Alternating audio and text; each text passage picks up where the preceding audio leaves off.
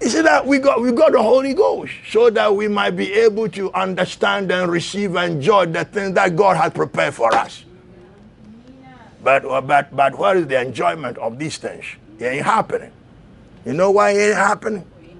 Because you're not blasting the Holy Ghost. That's why I, I said these things are there.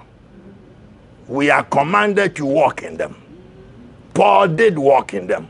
The Lord spoke a lot you know, to us about Paul and how faithful he was in blasting Holy Ghost. They said he thanked me because I opened the, the door of revelations to him. That is blasting in the that. Why will you thank me for talking some language if there's nothing attached to it?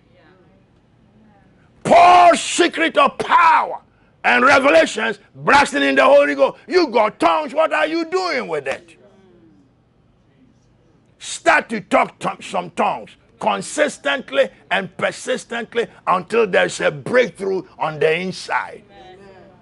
All right? Until there's a breakthrough. Listen,